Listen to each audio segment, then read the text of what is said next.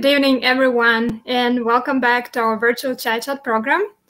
We're back after a short summer break, and we're very excited to start with an interesting and useful topic for all of us. But first of all, I want to introduce our speaker today, psychology professor and Fulbright scholar who specializes in positive psychology and education, Laurie Wolfe. Hi, Laurie. Hi, Gulshan. How are you? Good. Thank you so much. And um, thank you for taking the time to speak with us today. Of course, I'm always happy to. Unfortunately, I'm not there in person because it would be nice to actually be back in Tashkent, but I'm happy to be able to do this online for you. Thank you. And I'm going to uh, introduce you to people and tell a little bit about you so that people mm-hmm. know you. I know most of, many people know you in Uzbekistan, um, but for those who don't, um, Professor Wolfe completed her graduate work in school psychology at Syracuse University in New York, USA. Mm-hmm. She has taught um, at um, Cazenovia College in New York, um, Raritan Valley Community College in New Jersey, and um, currently teaches at Anoka Ramsey Community College in Minnesota. Professor Wolfe spent the spring 2019 semester living and working in Tashkent, Uzbekistan as Fulbright scholar. She worked with the Minister of Public Education to design a bullying prevention and stress reduction program for students. So this gives me a great pleasure uh, to not only welcome her, but I would like to thank her again for speaking with us today and for being a part of um, other ACT programming such as debate clubs. Thank you so much, Laurie. Um, of course. Mm-hmm. I'm so happy to be here. Thank you for inviting me back. Thank you. And I also want to remind everyone, all our viewers, uh, that you're welcome to put your questions in the comment section and we'll be addressing them during and after the talk. Uh, Laurie, we're lucky to have you today. Thank you again. And the floor is, floor is yours. All right. Well, again, thank you. I am so excited to be able to talk to you and all of the viewers through the ACT. Um, one of the things I enjoyed the most when I was there in Tashkent as a Fulbright scholar was doing the chai chat in person at the embassy, which was really was really fun to get to interact with people. Unfortunately, this one's online and it's a little harder to have that interaction. But I do encourage people to type questions as they think of them um, when I'm talking. And I'm happy to sort of pause throughout the presentation and take questions as as we can and i will save some time at the end too for just an open forum of questions because i really want to be able to address whatever questions you have about my talk as as we're going through it so don't be shy right. Should we bring the presentation up? Sure. Right. So I, as Gulshan said, study positive psychology, and I've been working most recently on applying it to educational settings. But really, um, positive psychology is the study of happiness um, in any setting. Just how do we become happier people? Um, so I want to take you through some of the findings of the research in positive psychology about what do happy people do? What makes people happy? And how can we all learn those sort of characteristics, behaviors, um, traits so that we can be happier in our lives? I think all of us have some room to be happier people most of the time if you ask somebody hey would you like to be happier? They're not going to say no i don't want more of that happiness right? So positive psychology is the scientific study. So we're trying to use experimental methods to figure out the characteristics and behaviors that make people happier that enhance their emotional or psychological well-being and for a long time, the field of psychology was always focused on when things go wrong and talking about mental illness and disorders. And we neglected entirely looking at when things go right and what it's like to be happy, healthy, and well adjusted. So, more recently, psychology has turned to this particular topic and trying to understand happiness, what leads to it, and how we can use that information to make people in general, not just people who are struggling, but all of us happier, healthier people. Right, so I'm going to present this model. It's got a nice abbreviation, PERMA, and it stands for five different aspects uh, that are related to happiness. So the P stands for positive emotion. The E is engagement, and I'm going to talk about what each one of these are in more detail. I'm just presenting um, what all five of them are right now. So, positive emotion, engagement, relationships, meaning, and achievement. Right. So, these are the five things that people really need in their lives to feel happy, healthy, well adjusted right? So we need to experience positive emotions, things like joy, contentment, peace, happiness. Um, we need to have a sense of engagement, and I'm going to talk about what that is specifically in a few minutes. We need to have positive relationships.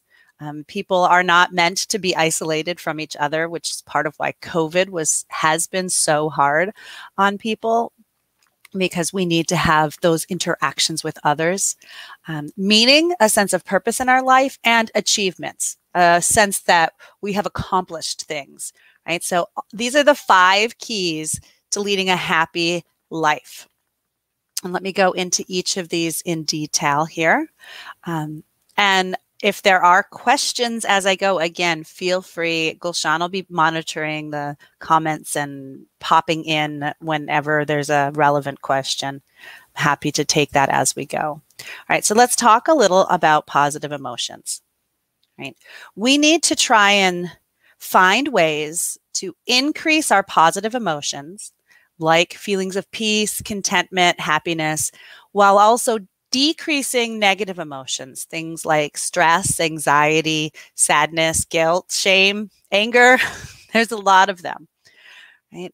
And I'm going to talk about three different techniques, and there are many more. This is just a, a quick overview of a few that you could start using right away if you want to. So, one is gratitude. The next one I'm going to talk about is mindfulness, and then finally, meditation. Right. So all three of these techniques have shown in research to reduce stress, reduce anxiety, reduce depression or sadness, while at the same time increasing feelings of happiness, peacefulness, contentment. So um, the more you can make gratitude and mindfulness specifically part of your everyday approach to life, the just more positive emotions you're going to experience. And then meditation is a little bit more of a thoughtful, strategic practice that you could include here and there throughout your routine. So, gratitude. I love this quote. Often we talk about um, a glass in English, we talk about a glass being half full or half empty. So, people see a glass and well, I have a glass and it's got a certain amount of water in it, but not all the way to the top. Right? And we talk about optimists seeing the glass as half full and pessimists seeing it as half empty, looking at just the empty part of it. But really, what we should be focusing on is the fact that you have a glass and there's something in it, right? This is the practice of gratitude. Right? So, the more we can focus on the good things in life, the more positive emotions we're going to experience. So, some people are naturally very good at this, and that's fantastic. If you are one of these people, you don't need to work on gratitude. But if it's not something that you think about on a regular basis, it's it's fairly easy to begin to incorporate a gratitude practice into your approach to life. Just getting up in the morning and thinking of something you have to be grateful for. The sun is shining today. Um, or it's raining. Like maybe we might be happy. Like in Minnesota right now, we're having a really bad drought. It's hot, it's dry, and we desperately need rain. Right. So yesterday it rained for about 20 minutes and then it stopped and got hot again. But still, to notice that and be grateful, like, wow, this is wonderful. It's finally raining. Um, whatever it is you have around you, you know, really simple things can impact your everyday life that we just take for granted. You know, the fact that I have food to eat tonight, I have a hot shower. um, when I was living in Tashkent, I was shocked to realize that sometimes they turn the water off. like, oh, my apartment has no water all week. so I really learned to be grateful for the fact that I have running water right now. Like, that's a good thing, something that I had taken for granted living in America. So just to begin to notice things in your everyday life and mentally point them out to yourself um, can help increase your um, positive emotions. There's some other simple things that you can do if you would like to start incorporating more of a gratitude practice in your everyday life. Um, one thing is to write a gratitude letter. Um, this is a little bit more involved and thoughtful, but I have my students in my positive psychology course where I teach um, do this assignment every semester, and I have never had a single student say that they regretted doing it. Without fail, everyone says they feel so much happiness, so many positive emotions after writing a gratitude letter. So think of somebody who is important to you, somebody who has done something meaningful in your life, something that has helped you in some way, and maybe you haven't properly expressed that to them. Write a letter to that person.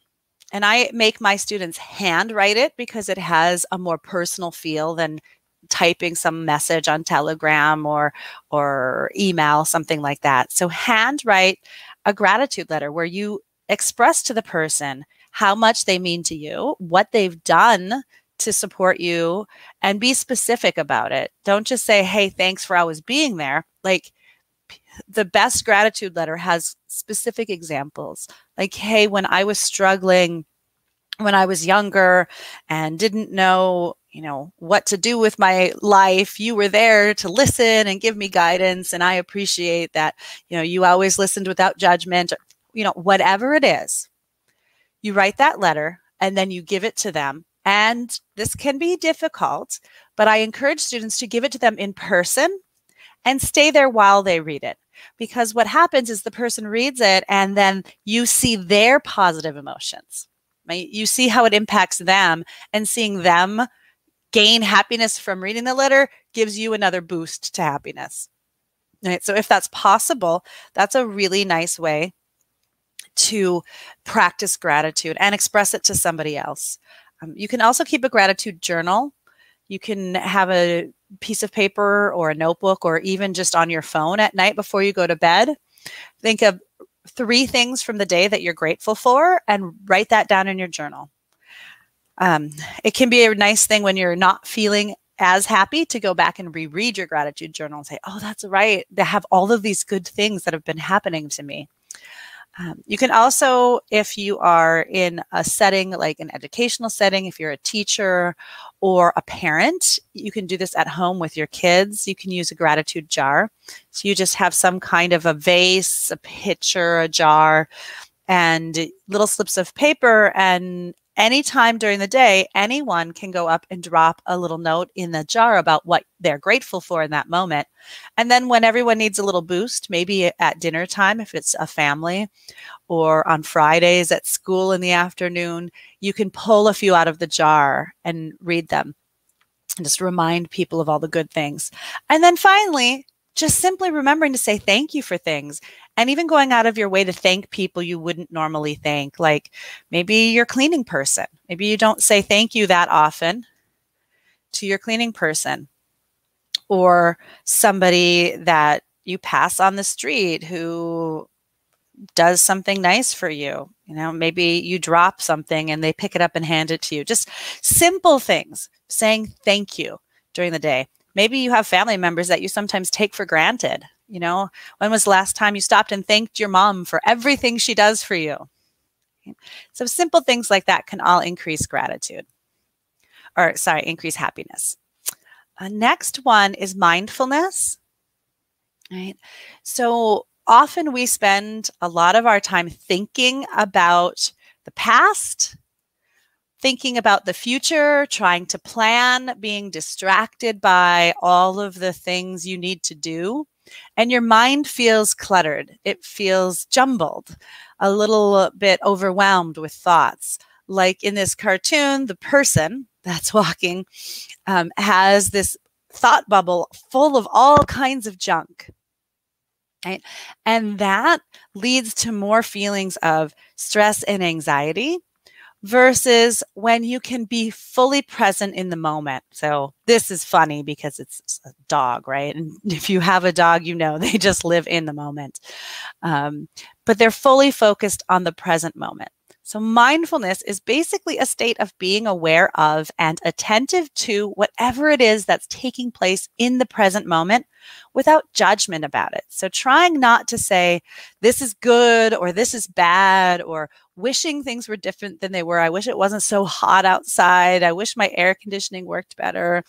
Um, I wish I was somewhere on a beach in the tropics. Um, not doing that but simply noticing the moment and trying to appreciate it as for whatever it is. Like, you know, I'm sitting here right now and I have a window in front of me. You all can't see that. Um, and there's butterflies. I can see butterflies flying around in the window right in front of me right now. Right? If I was really distracted with other thoughts, I might completely miss the butterflies flying around in front of me because I'm worried about what am I going to make for dinner tonight? And I have to go to the store and buy these ingredients. And then I also have laundry that's piling up that I have to do. And, and, and, and, and, and your brain just misses the moment because it's focused on everything else. So mindfulness is just this practice of constantly bringing yourself back to the present moment and appreciating what's going on around you right here and now. Right? And one simple way to begin to practice mindfulness is just to stop and notice your breathing. If we were doing this in person, I would take us all through a mindful breathing exercise, um, but it's a little hard to do online. So I'm just going to explain a bit about it, and you can do it anytime, anywhere. You simply stop what you're doing. You can close your eyes if that works for you. If not, you can leave your eyes open and you simply bring your full attention into your breath. Just take a few slow, deep breaths and notice it. And that simple action, it can really be just like five breaths, three breaths can be enough to calm your, yourself down and increase your feelings of contentment and decrease your stress. So you can also do it for five minutes, 10 minutes, 20 minutes, um, any amount of time that you need to, to, to settle yourself. Um, but that mindful breathing, just noticing your breath, is the simplest way to begin um, to practice mindfulness. There's another really nice practice too that some of you might want to do, and that's mindful eating. I know how much Uzbeks love their national foods. So next time you have plov or somsa or shashlik, something like that, stop and really fully notice your food. Smell it, look at it, taste it, feel the texture, notice the spices, what have it be a full experience. It doesn't have to be the entire meal, but you know, take a few bites and just focus on fully experiencing the food and just notice how it changes your emotions in that moment. So that's mindfulness. And then the last thing about positive emotions was meditation. Um, meditation is more of a formal practice of mindfulness. So when we meditate, we are sort of stopping all of the other things we're doing and focusing just on being in the moment. You can notice your breath. You can um, have some kind of like meditative music in the background. You can go outside and listen to birds or whatever sounds there are in nature, but you're you're purposefully stopping what you're doing and finding a space of quiet. So a lot of people say, I can't meditate because I can't quiet my mind. That's not what it's about. Um, even in meditation, a lot of people find that their thoughts are still racing, but somewhere underneath all of that noise in your mind, there is a space of quiet inside of you.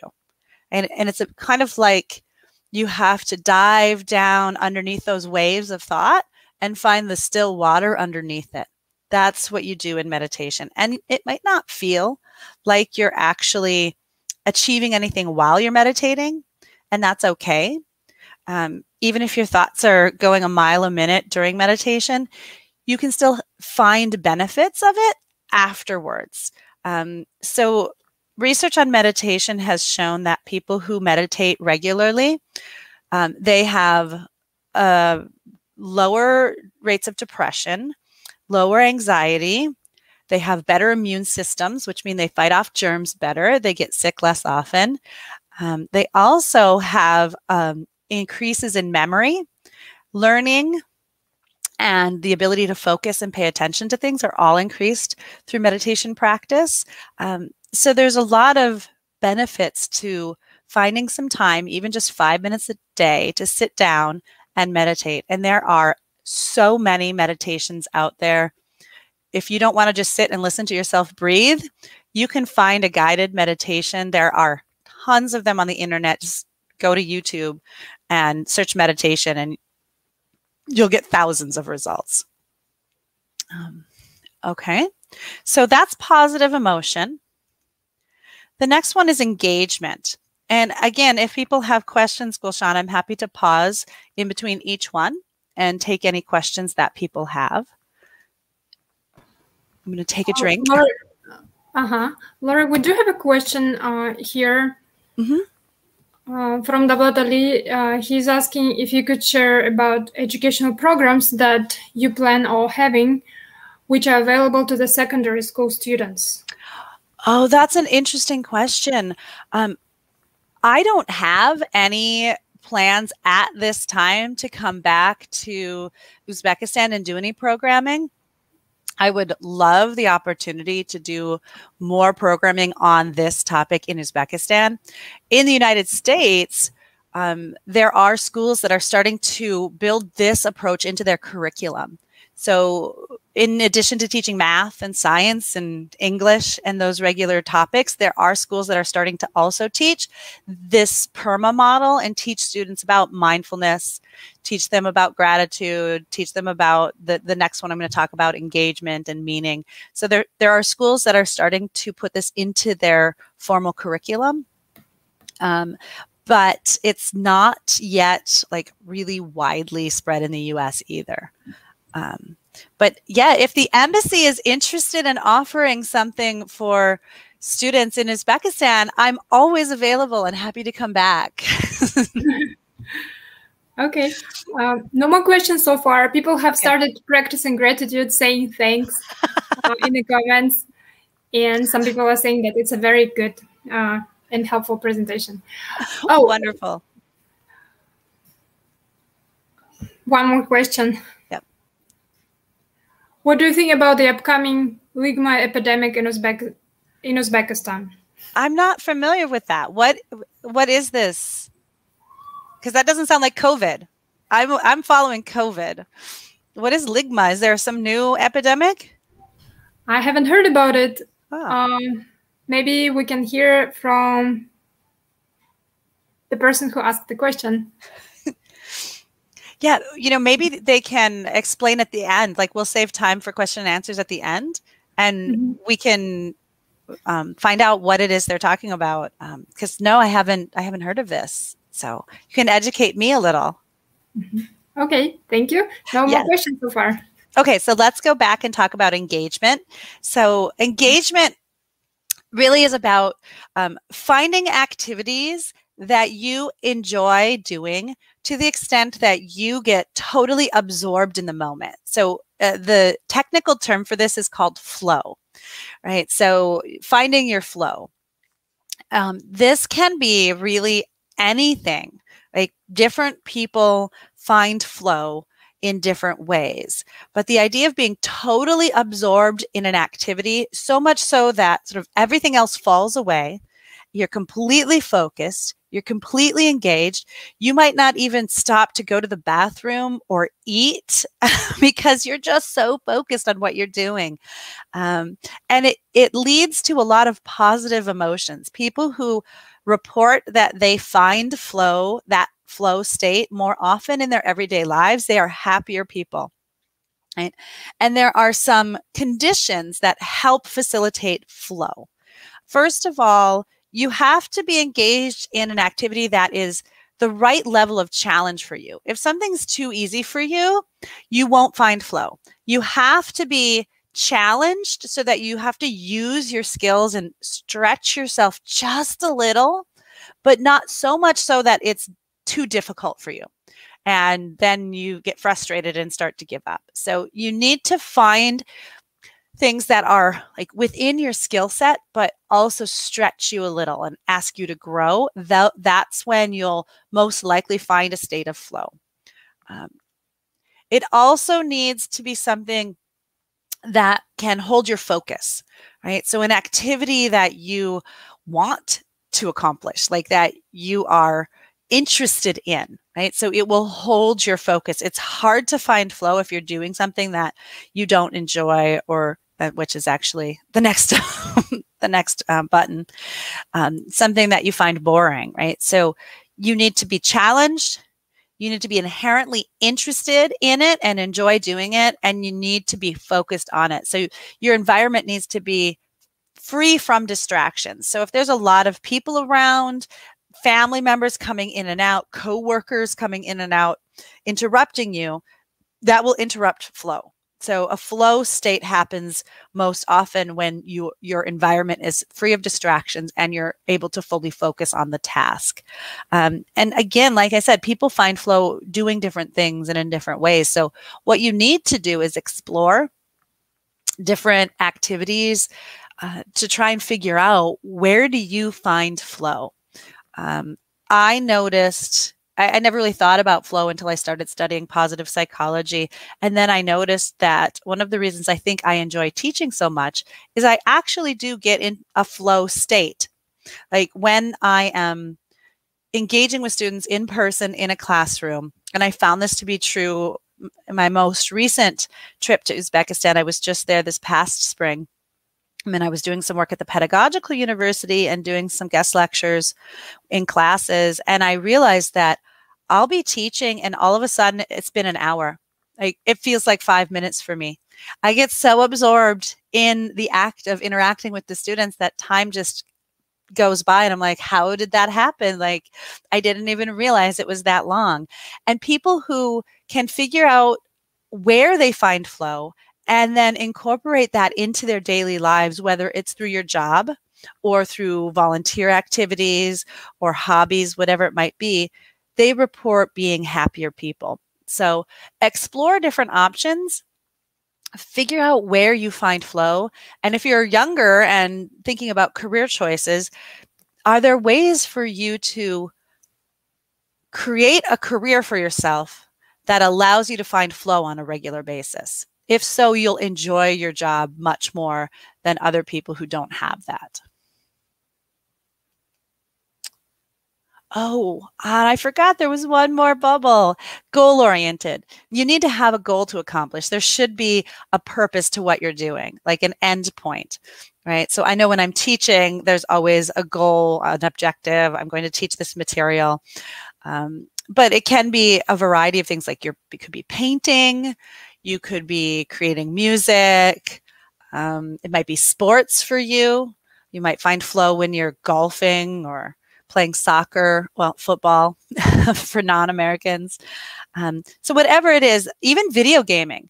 I mean, a lot of younger people find flow when they're video gaming. I know gamers who can play for hours upon hours trying to accomplish a task in a game, and they don't stop to eat or drink or go to the bathroom.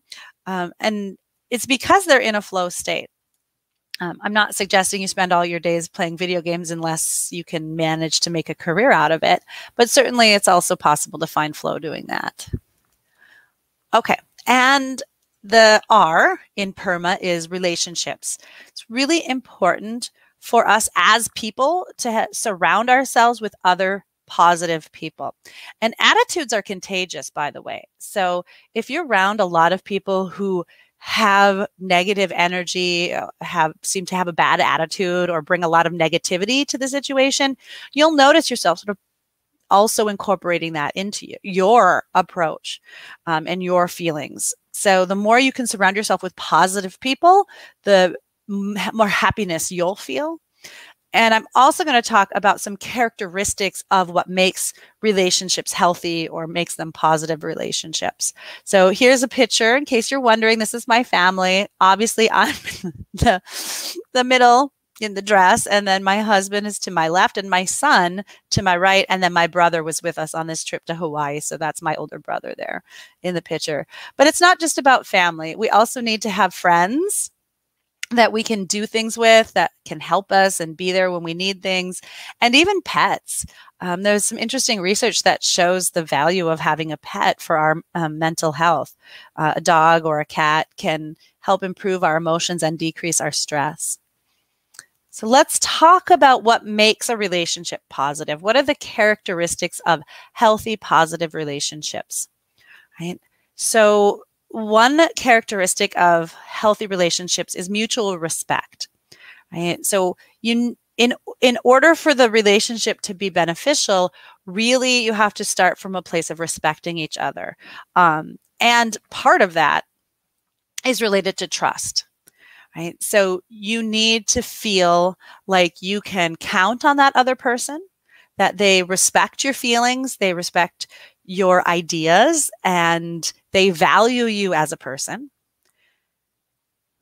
You also need to make sure that both people kind of have a sense of faith in each other and a sense of trust. And the, I'm not talking about just in um, romantic relationships. I'm just talking about in general. This can be true of friendships, of family relationships.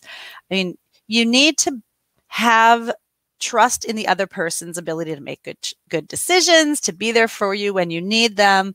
Um, just in general, um, that each person trusts the other one um, is really critical to having a positive relationship. If one person in the relationship is really suspicious, um, is perhaps jealous a lot.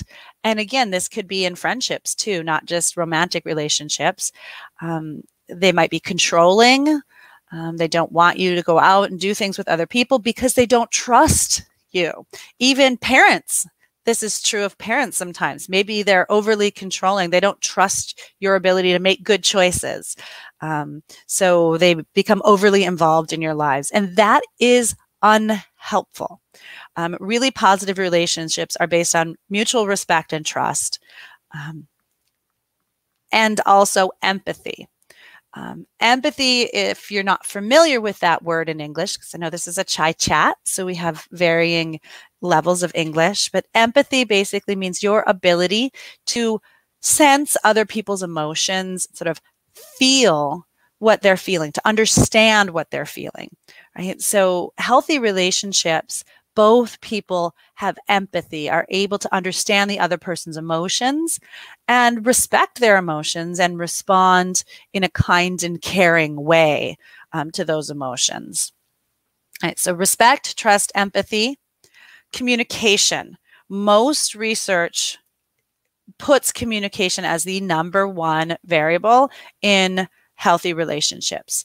The ability to clearly talk to each other, to communicate in a clear and effective way about how you're feeling, what you need, what you want from the relationship, and in general, just being able to like have conversations about things.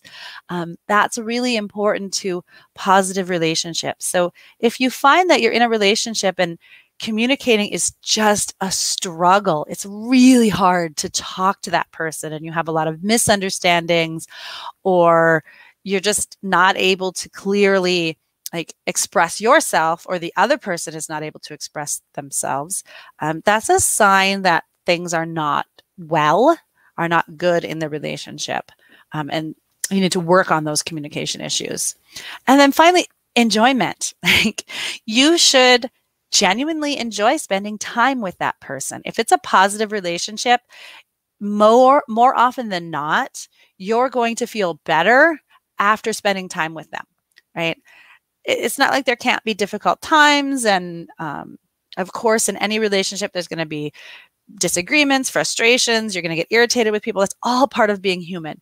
But on balance, more often than not, you actually feel better when you're with them or when you're spending time with them. If you spend time with somebody and you end up feeling exhausted afterwards, you're tired and you like feel better when you get away from them, that's a sign that there again is something off about that relationship. And you really want to do your best to build yourself a network, a support system of people around you that have that you have positive relationships with. So the more that you can develop these relationships and really nurture them, the happier you'll be. So I mean, think about that. Sometimes we don't have the choice of people we interact with. We have coworkers, we have family, and we don't get to pick those people. Um, but the more you can minimize your interactions with people who leave you feeling um, stressed, anxious, sad, tired, frustrated, the more you can minimize that and maximize your interaction with people who help you feel happy, content, peaceful, excited about life, the the better it will be for you from a psychological perspective. So before I move on to the next one, this is probably a good time to also ask if there are questions because I, I thought there might be some questions about the relationships. Usually students want to talk about relationships. Um, so there is one interesting question. It's not about relationships, but mm. very close to what you were describing, uh, talking about. Um, question from Azizbek. He's asking to find yourself and discover your talent, one has to do what he or she is scared to do. Would yeah. you agree with this statement? I would. Um, I not necessarily say exactly what you're scared to do, but you absolutely have to not be afraid to try new things, to go outside of your comfort zone, to stretch and grow um, and experience um, things that you haven't experienced before. You absolutely have to do that. You can't let fear um, stop you from experiencing the world because then, yeah, Azizbek is exactly right. If you really want to find flow, discover meaning in your life, understand your own skills, talents, and values, you have to stretch yourself. And sometimes that means doing things you're you're a little bit scared to do. You know, like I'm a really afraid of heights. Um, my friends know that. And uh, when I was in, was Khiva, I think. Yes.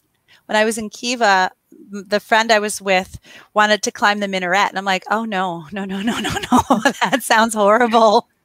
I don't want to do that and the person didn't give me a choice. My friend just like grabbed my grabbed me and like, we're going. You're going up there. I'm like, okay. So I like climbed up on my hands and knees, like walking through my own breathing exercise, like I was my own therapist.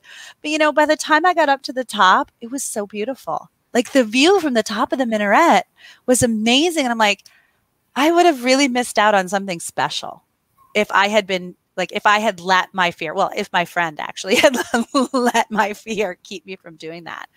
Um, so yeah, you absolutely have to push yourself out of your comfort zone. Um, I, I don't think I need to go skydiving in order to experience like my talents, but um, yeah, push push the edges a little bit. Absolutely. And thank you for that question, Azizbek. Mm-hmm. And another question from Tamila. Oh, Tamila, yeah. Have you ever met someone who doesn't want to think positively and it's his comfortable, enjoyable position? Oh, yes. Yes. What do, do you do with, when you meet people like this? Do you like try to keep away from them or improve them? Yeah it's okay. It's really hard. I do know people like this. In fact, I have family like this.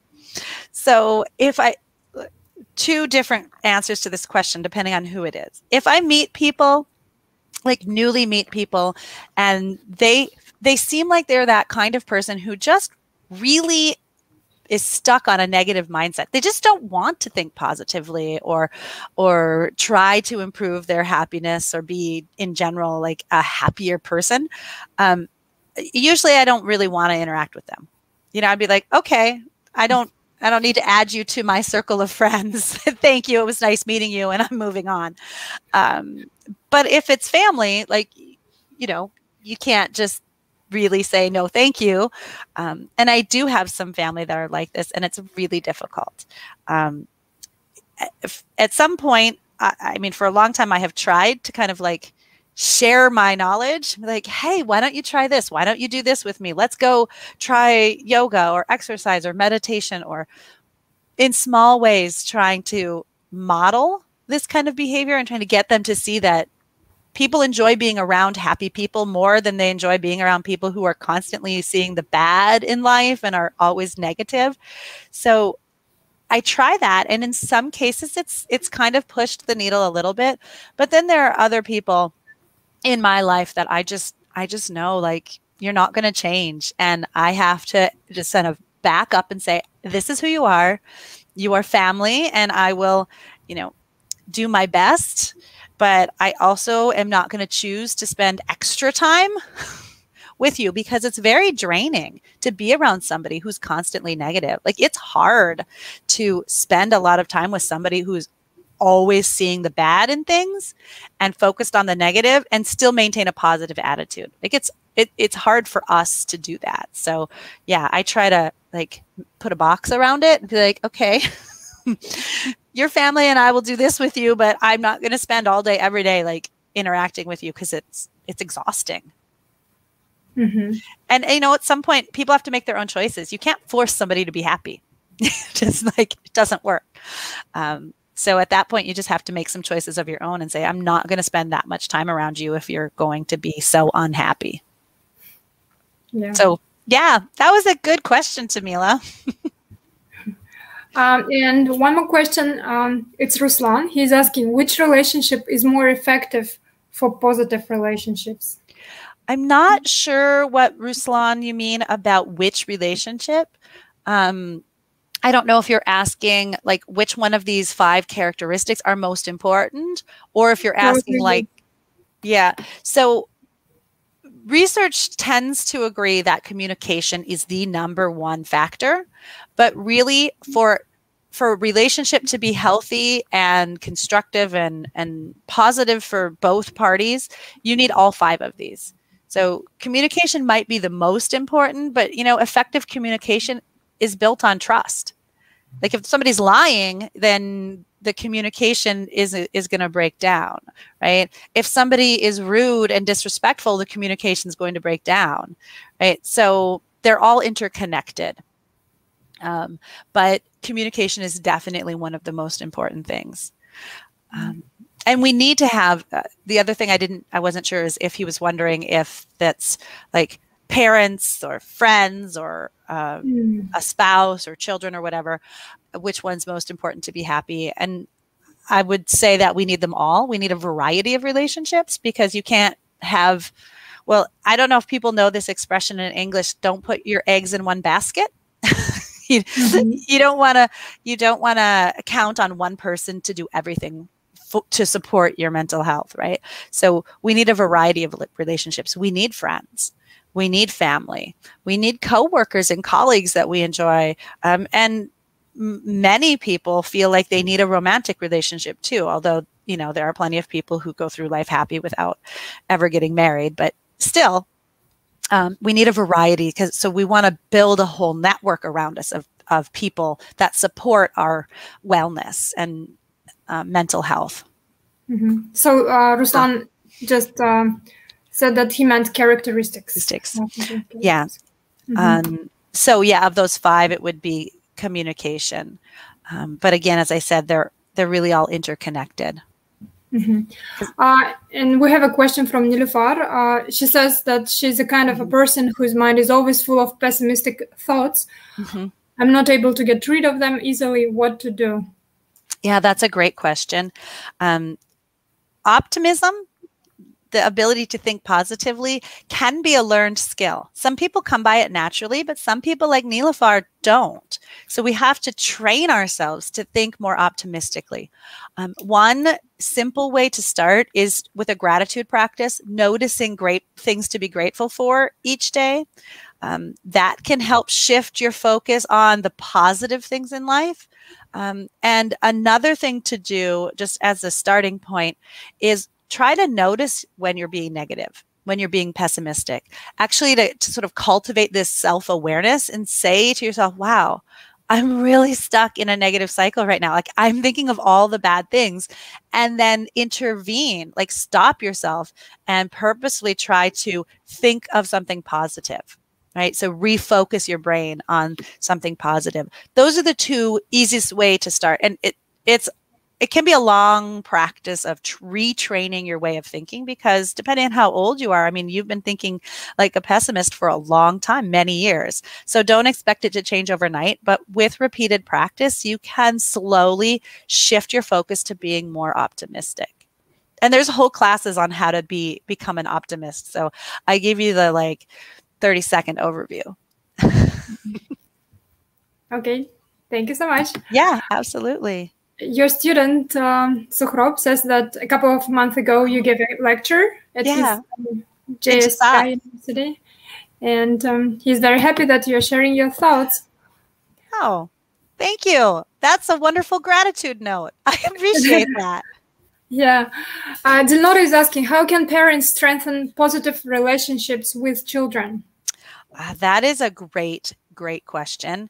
And I'm going to go back to which characteristic is most important, and that's communication, right? So, anything parents can do to establish clear, open, sort of healthy communication with their kids. Um, it's going to build more positive relationships. So, if your children feel like they can talk to you and talk to you without being judged or criticized or otherwise like made to feel like they can't share things. Like sometimes parents will respond in a way that makes a child say, "Oh, I shouldn't have said that." Like, I think you can all think of an example um, of things you probably wouldn't talk to your parents about eh, because your parents wouldn't take it well but the more the more that you can have open channels of communication with your children and support them instead of judging them, the more they'll come to you. And that will strengthen the relationship. And that will help with respect and trust. And if you can empathize with them instead of judging them, um, really say, "Oh, I, you know, I understand how you're feeling." Or even if you don't understand, you can at least say, "It, it looks like you're really upset about this. Tell me about it." Right, without judging them, um, that's going to lead to much healthier relationships um, and long-term relationships right? Because you want your children uh, i'm a mom you, you, saw the picture of my family. My son is now 17 and i am so happy that he still constantly talks to me. Like and sometimes he talks to me about things i could care less about but i try to pay attention and sort of validate him because i want him to come talk to me about the really important things Right. So he tells me about his video games, and it's like my eyes glaze over and I can hardly focus. I'm like, oh, I don't want to hear about more video games. But you know what? I want you to know that I'm here to listen to you no matter what it is. Um, so he'll talk to me about the more important things. At least that's my that's my strategy. Yeah. So that's what I would focus on. Listening without judgment. I think if you do only one thing, that will help. Wow, this is amazing advice. uh, I think we don't have any questions so far, so we'll um, let you continue with your presentation. Great, because I have two more uh, things to mention. Um, and then we'll just have time for a little time for questions. So the M stands for meaning. It's important to feel like our life has purpose. So this is something that a lot of people struggle with, especially when they're younger. Like, what am I going to do with myself? What what is my purpose in life? Um, and one of the first things I tell students is to try new things. Like Azizbek said, you have to push yourself out of your comfort zone.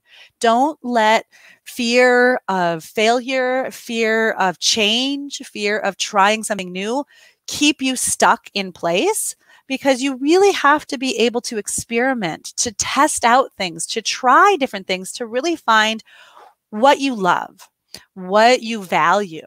Um, and where you want to spend your time.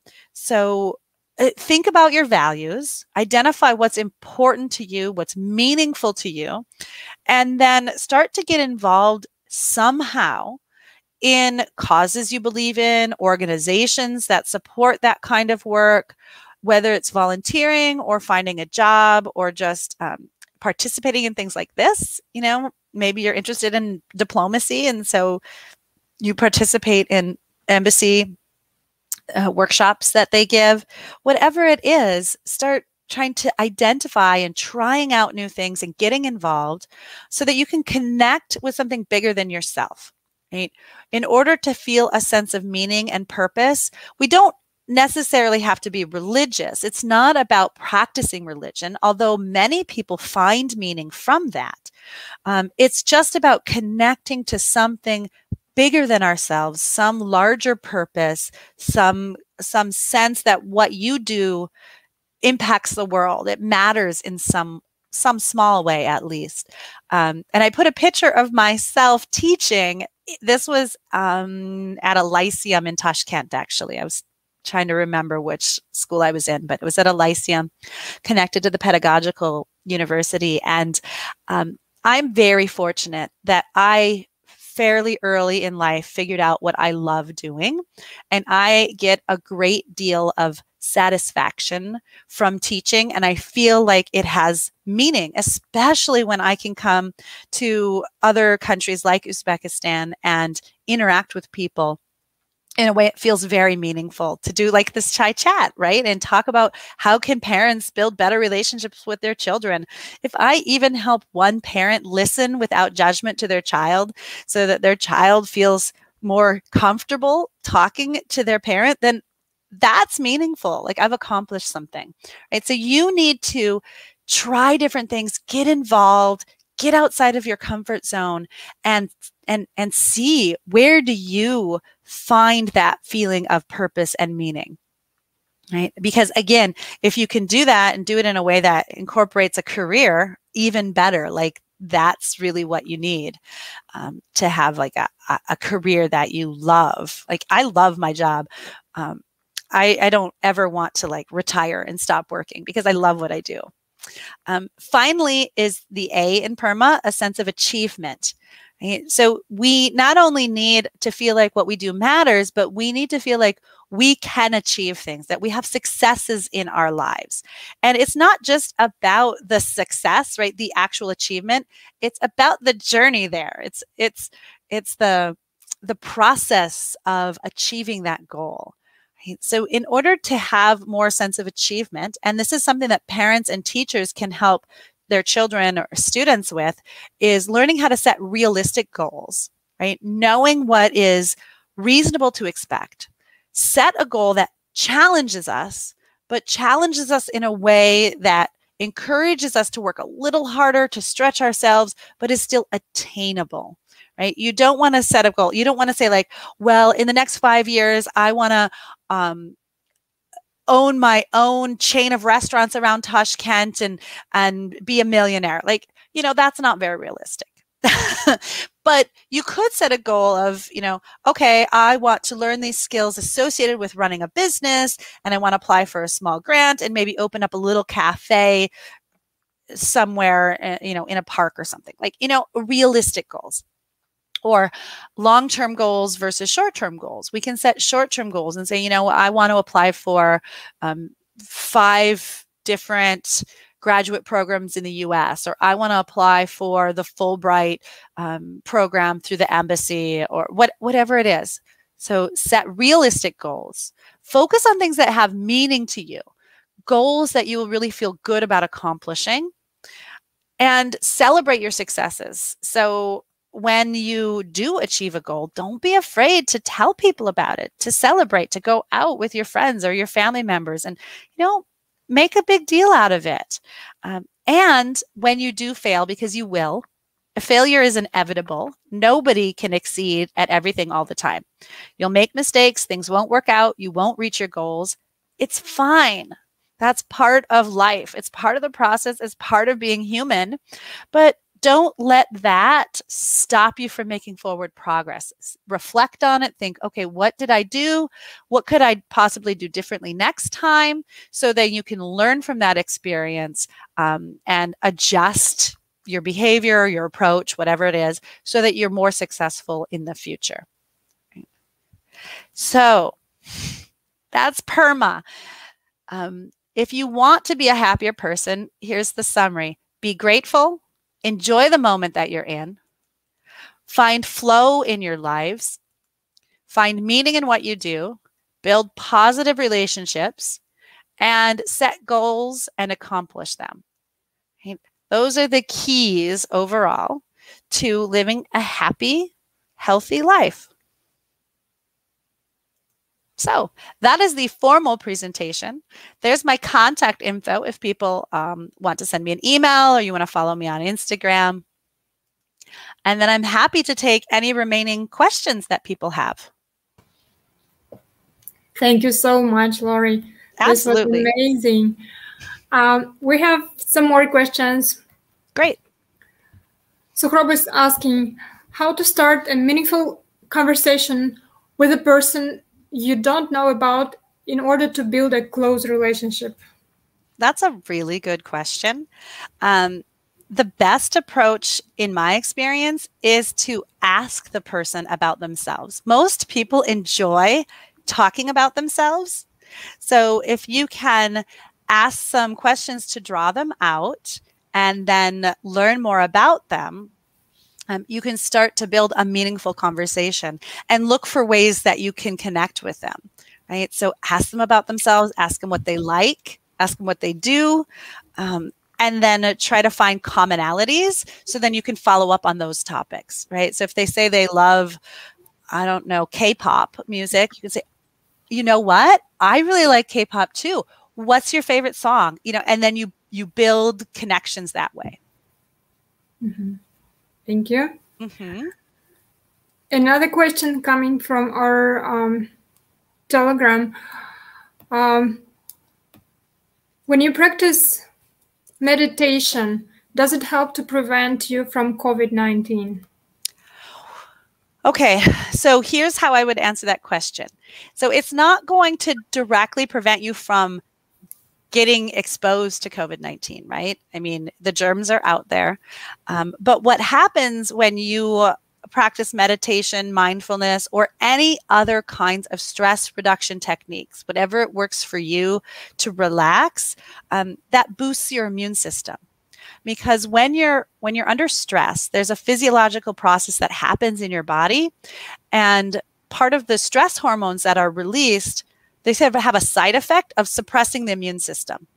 So when you're under stress, you can't fight off germs effectively, which is why people get sick when they have like big stressful events coming up. Maybe you're a student and right before the the exams at the end of the year or right before you take your IELTS or right before your wedding, maybe when you're really stressed, you're going to get sick because that stress suppresses your immune system. So if you can meditate, if you can practice mindfulness, exercise, um, whatever sort of techniques work for you to relax and reduce your stress, that's going to improve your immune system. So your body's going to naturally be able to fight off germs more effectively. And that includes COVID 19 germs, right? So, if you can keep yourself in a more relaxed state when you get exposed to COVID, hopefully it's less severe. You can fight it off more quickly. Um, I had COVID. I mean, I didn't know I had COVID. I happened to get tested because I was exposed and I was positive, but I had no symptoms. So I'm one of those lucky people. And I don't know if it's because I was sort of managing my stress or I just genetically won the lottery and I don't get mm-hmm. COVID symptoms. I don't know. Um, but definitely, um, it helps boost your immune system. Anything you can do to relax and reduce your stress. Mm-hmm. Okay. Thank you so much, Laurie. Absolutely. We have so many people saying you thank you for your presentation, saying that it was wonderful and amazing. Oh, and uh, Sohrab is asking, do you plan to come to Uzbekistan again in, in the future? Well, God willing, I will have an opportunity to come back. So I would I would love it at the current moment, I am between projects and I'm just kind of waiting to hear if I have an opportunity to come back to Uzbekistan in maybe the fall. I'm hoping. Um, mm-hmm. Um, uh, hoping that you guys don't go back on a lockdown too with COVID cases spiking. So we're keeping our fingers crossed. yes, absolutely. So yeah, maybe with with some luck, I'll be able to come back and do a chai chat in person in the fall. We hope so. We hope so. Thank you so much, Professor Wolfe. Uh, you you've been a motivator for us today, and uh, you gave so much wonderful, helpful advice, and um, I, I think it will help all of us to live a happy and healthy life. Thank you. It was a pleasure to talk with you, and thank you to everyone who watched and asked questions. I really appreciated you, uh, your attentiveness as an audience.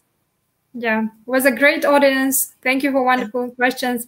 And for everyone else, join us next Friday um, for another talk. All Thanks right. so much, Laurie. Thank you. Bye. You Bye too. -bye. Good night. Good night.